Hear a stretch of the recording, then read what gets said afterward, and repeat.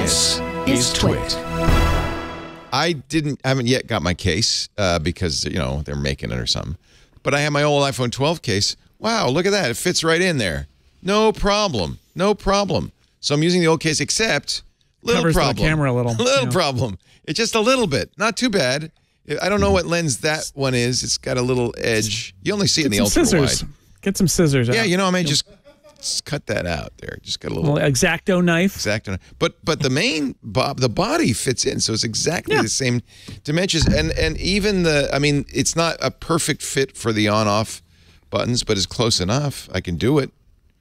So uh, just a little little tip for you. You know, the the the silencer slit switch is just a little. Apple did not really redesign this. Now it's very interesting because iFixit says there was a big redesign in the iPhone 14, not the Pro, but the they have upgraded now at iFixit the repairability of the iPhone 14 to seven out of 10, which is the highest an mm-hmm. iPhone's been in years and years and years. Yeah. They were really excited about like, replacing the back glass. Uh, now uh, it's rest. It required a much much stronger adhesive uh, before, so a lot more finicky to get rid of it. Now they say that much much uh, weaker adhesive, so it's easier to, to get at. Plus, just f- fewer clips. Essentially, this it's a common repair is now they des- designate as much much much easier to perform. now, and they were on previous phones, including the iPhone 14 Pro, you have to get at stuff from the front. You you open up the front and you dig down. That makes it easy to replace the screen. Easier to replace the screen, harder to replace everything else. Now it's a they, iFixit says this is the iPhone 14 reborn as a beautiful butterfly. Hmm. the mid frame is in the Don't middle. say don't say butterfly. Don't say butterfly with Apple hardware, please. You, I'm still you got recovering. PTSD from the Accessible screen on the left, removable rear glass on the right. So that's kind of cool. So you can get in from both sides, which makes it much easier uh, to repair. It, Yeah. They gave Apple big props for this. They said this was not easy to do.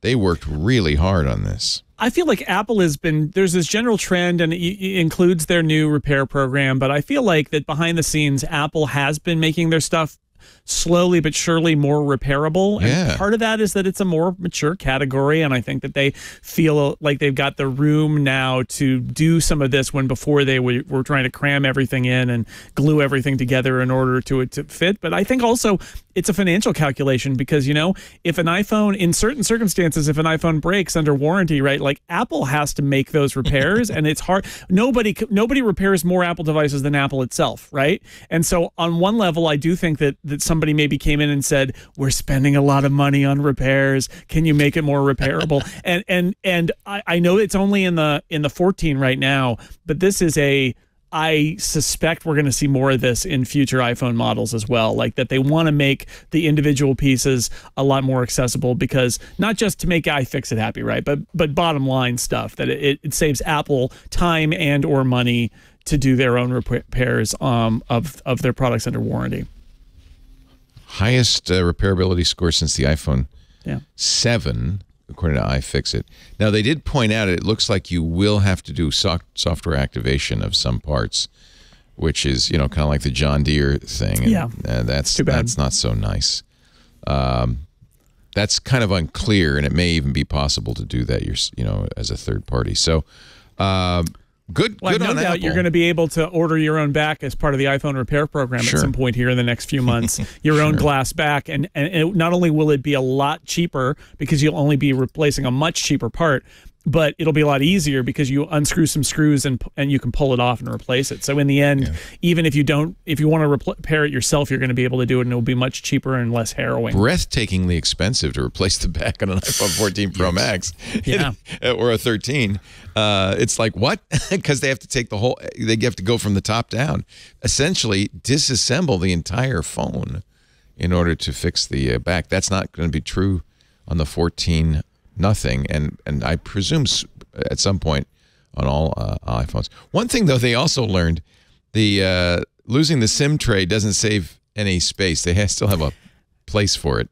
It can't because it's it's not lost on any other model Right. worldwide, right? This is more of a I don't know, a test in the US That's what I in order think. to do this. Yeah. And and but like they, they talk about you could put an SD slot in there, and I guess you could, but like what, No. what's really gonna happen is there the next version is not gonna have it anywhere in the world and they're gonna have they're gonna use that space, right? That's the long term effect here, but they're not gonna design like a whole other feature that takes up a whole other set of space inside this thing, but only on the US models. They just omit it from the US models. Yeah, and I think that it's probably safe to say that the iPhone 14 is also a test. Like, well, let's see how this works because they're not using as much glue. Let's see if it if it if there's reliability issues or if anything doesn't work, and then it would make sense. Yeah, this is part of a. Apple's always doing that long game thing where they're gradually. Uh, and and, and realize and realize that the first first uh, the, the the first uh, wave of people who get these phones they are going to be watched very very closely by uh, by uh, Apple engineers.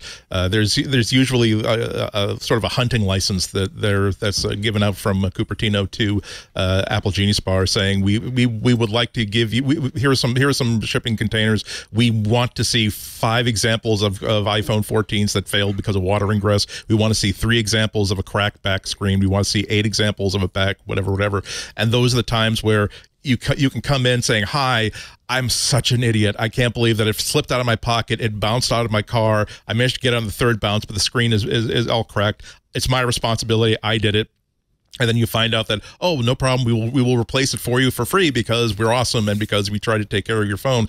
And also because again because this is a brand new product they want to see they want to get some of the stuff back and see how did it break why did it break and how can they prevent things from breaking in the future